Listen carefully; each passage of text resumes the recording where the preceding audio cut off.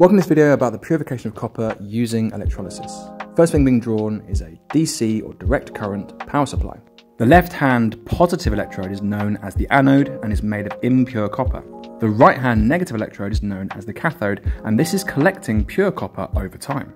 The two electrodes are submerged in a solution of copper 2 plus ions, either copper sulfate or copper chloride solution. When we turn the power supply on and a current is allowed to flow, we'll notice that the left-hand electrode, the positive anode, will begin to appear to wear away and impurities will fall to the base of the beaker, whilst the right-hand electrode, the negative cathode, will appear to grow in size as it builds up copper on its surface.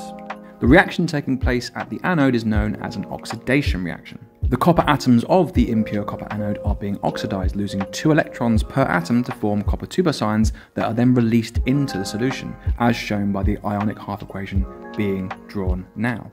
And slowly over time, the impure copper anode will diminish as those ions are formed. Conversely, at the negative cathode, copper 2 are being attracted towards it, gaining two electrons and being reduced, and this is causing copper to deposit steadily onto the surface of the pure copper cathode.